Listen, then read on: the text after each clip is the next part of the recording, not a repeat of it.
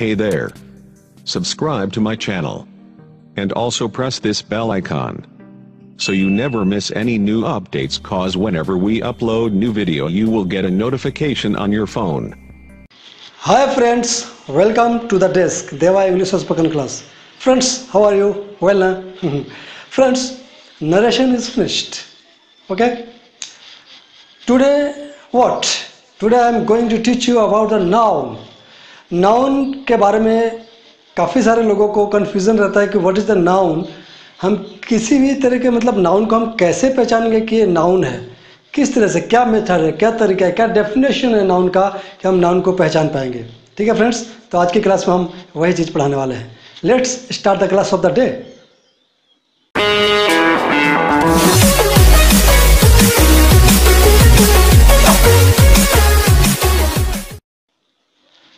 friends noun what is the noun noun को हिंदी में संज्ञा बोलते हैं। तो what is the definition of the noun noun noun is the name of person place और think किसी भी वस्तु, जगह और आदमी या व्यक्ति के नाम को हम नाउन कहते हैं, संज्ञा कहते हैं। बहुत ईजी है।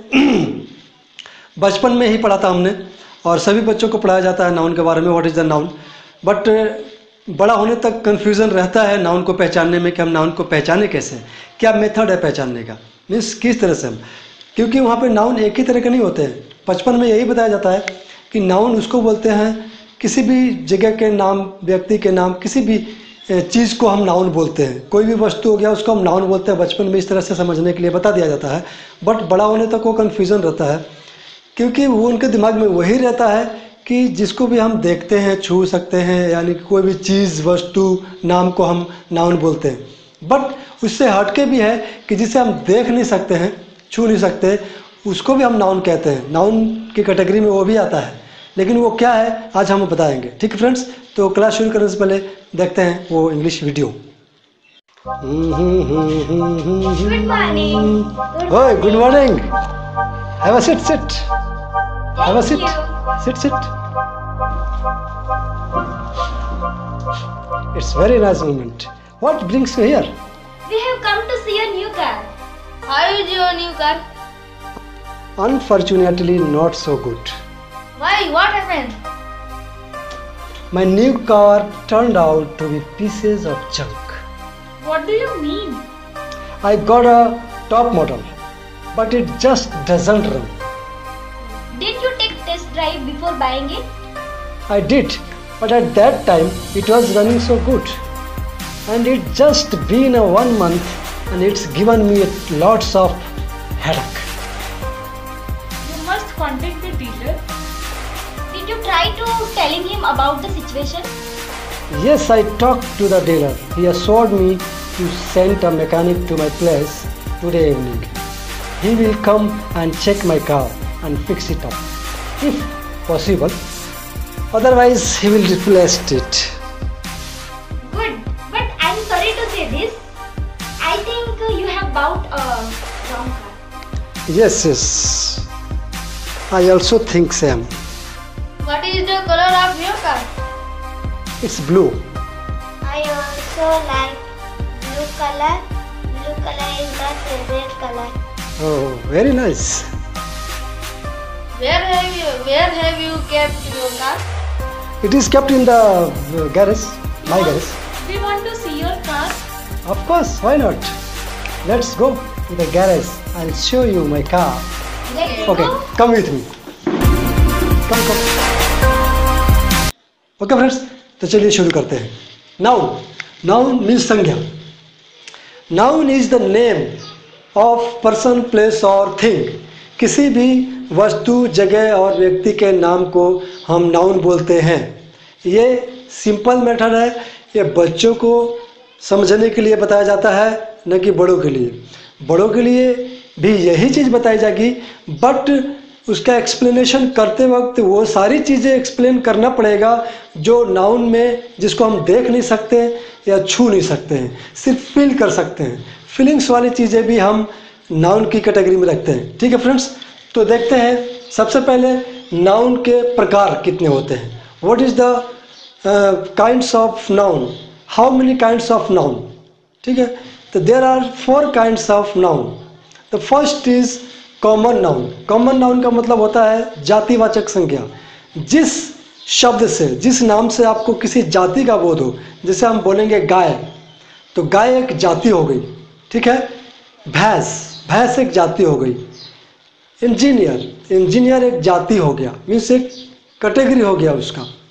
बुक्स तो बुक्स की एक कैटेगरी हो गई। वो कौन से कैटेगरी में आती है? स्टेशनरी में। तो बुक्स एक कैटेगरी जाति हो गई बुक्स की जाति।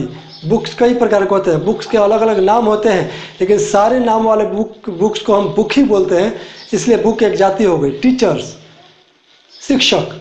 सभी शिक्षकों के लिए अलग अलग नाम होते हैं। वो नाम तो संज्ञा हो भी हो ही गया बट टीचर शब्द भी नाउन ही है, क्योंकि ये जातिवाचक है। ठीक है फ्रेंड्स तो जातिवाचक में क्या क्या आते हैं? Book pen boy girl man king and house house से कहने का मतलब यह होता है कि घर की जाति। मीन्स घर कई प्रकार के होते हैं तरह तरह के होते हैं अलग अलग नाम के होते हैं, लेकिन सभी घरों को घर ही बोलते हैं, इसलिए घर की एक जाति। किंग, राजा की जाति, मैन, आदमी की जाति। ठीक है फ्रेंड्स? तो ये कॉमन नाउन हो गया, जिसको हम जातिवाचक संज्ञा बोलते हैं। अभी दूसरा हो गया proper noun proper noun proper noun means व्यक्तिवाचक संज्ञा। व्यक्ति से मतलब ये नहीं है सिर्फ़ कि सिर्फ़ किसी व्यक्ति का ही नाम हो। व्यक्तिवाचक संज्ञा से मतलब ये होता है कि पर्सनल है। मीन्स जैसे किसी व्यक्ति का नाम, कुछ भी ले लो, सुरेश, महेश, अनिल, सुनील, और किसी देश का नाम अमेरिका, रूस, लंदन, ये सब, किसी भी देश का नाम। ये हो गया व्यक्तिवाचक संज्ञा। ठीक है फ्रेंड्स? अब तीसरा है कलेक्टिव नाउन। कलेक्टिव नाउन का मतलब होता है समूहवाचक संज्ञा। समूहवाचक संज्ञा का मतलब होता है कि वैसे नाउन, जहाँ पर एक या दो से ज़्यादा चीज़ें होती है इकट्ठा, वहाँ पर उसको कलेक्टिव नाउन बोलते हैं। मीन्स कलेक्ट होता है। एक से ज़्यादा।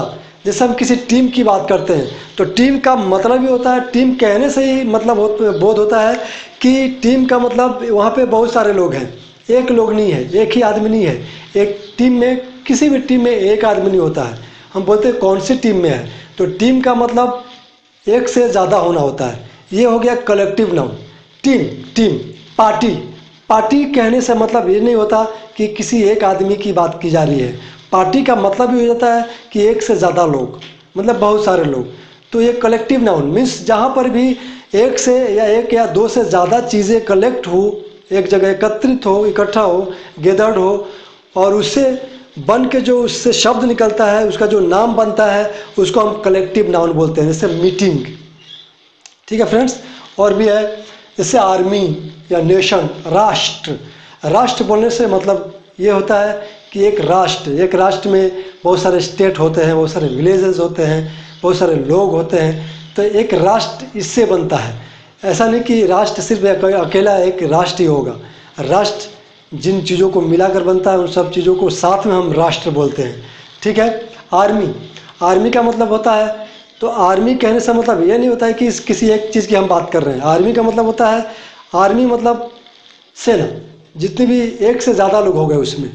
जब भी मतलब हम कहने का मतलब यही है कि कलेक्टिव नाउन का मतलब होता है कि एक या दो से ज़्यादा चीज़ें जब एक साथ कलेक्ट हो, जमा हो, और उससे बनकर जो नाम तैयार होता है, उस चीज़ को हम कलेक्टिव नाउन बोलते हैं। ठीक है फ्रेंड्स अभी चौथा हो गया और लास्ट है ये।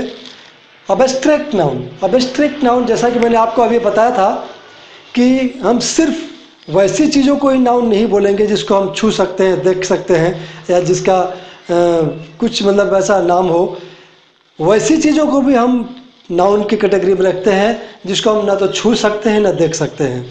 उसको सिर्फ़ हम फील कर सकते हैं। फील करने वाली कौन कौन सी चीज़ें हैं आपको अच्छी तरह से पता होगा। जैसे गुस्सा प्यार दुख जवानी बुढ़ापा ये सब चीज़ें जो है अवस्था जिसको बोलते हैं ये सारी चीज़ें फील करने की चीज़ें हम इसको ना तो देख सकते हैं, ना छू सकते हैं। ठीक है फ्रेंड्स ये जैसे यहाँ पर हो गया काइंडनेस काइंडनेस काइंडनेस मतलब दयालुता थेफ्ट मतलब चोरी डेथ डेथ मतलब मृत्यु लाइफ माने जीवन यूथ माने जो जवानी, और ब्यूटी मतलब सुंदरता। सुंदरता सुंदरता को हम देख सकते हैं, सुंदर चीज़ों को देख सकते हैं, लेकिन सुंदरता एक ऐसी चीज़ है, भाव है जिसको हम देख नहीं सकते, सिर्फ़ फील कर सकते हैं, महसूस कर सकते हैं। हम जो देखते हैं, वो तो जातिवाचक संज्ञा हो गया जैसे हम फूल को देख रहे हैं, फूल को देख रहे हैं, कितना सुंदर फूल। लेकिन है तो फूल, लेकिन सुंदर सुंदर किधर दिख रहा है? सुंदरता किधर दिख रहा है? उस फूल की सुंदरता को देखो। तो हम फूल को देखते हैं, लेकिन सुंदरता को सिर्फ़ फील करते हैं, न कि देखते हैं। सुंदरता को हम फील नहीं करते हैं, देखते हैं। सॉरी सुंदरता को हम देखते नहीं हैं, बल्कि फील करते हैं। ठीक है फ्रेंड्स वहाँ पे हम सुंदरता बोल रहे हैं कि उस फूल की सुंदरता की देखो या उस झील की सुंदरता को देखो। वहाँ पर झील तो हम देख रहे हैं। झील दिखाई दे रही है, झील है, पानी है। लेकिन उसकी सुंदरता को हम नहीं देख सकते सिर्फ़ फील कर सकते हैं। दिखाई तो सिर्फ़ झील दे रहा है। ठीक है ना फ्रेंड्स इसी तरह से हम जिस किसी को भी जैसे बोलते हैं, देखो देखो, उसके गुस्सा को देखो तो उसके गुस्सा को देखो, उसके गुस्सा मतलब हम उस आदमी को देख रहे हैं, न कि उसके गुस्सा को देख रहे हैं। उसके गुस्सा के जो भाव है, उससे हम फील कर रहे हैं कि इसे गुस्सा आ रहा है। उसी तरह से प्यार है। मतलब जितनी भी चीज़ें हम फील करने वाली चीज़ें जिसको हम भाव से बताते हैं, या अवस्था है, या भाव है, उससे हम पहचानते हैं तो उसको भी हम नाउन की कैटेगरी में रखते हैं और वो कहलाता है एबस्ट्रैक्ट नाउन यानी भाववाचक संज्ञा। ठीक है फ्रेंड्स तो ये था आज का क्लास जिसमें मैंने आपको संज्ञा यानी नाउन के बारे में विस्तार से बताया कि उसके कितने प्रकार होते हैं और किस तरह की चीज़ों को हम नाउन बोलते हैं और उसका डेफिनेशन क्या है, हम डेफिनेशन क्या दे सकते हैं। ठीक है फ्रेंड्स उम्मीद करता हूँ कि आपको आज का क्लास अच्छा लगा होगा और आपको समझ में भी आया होगा। ठीक है ना फ्रेंड्स तो अब तक हमारा वीडियो देखने के लिए thanks thanks a lot and धन्यवाद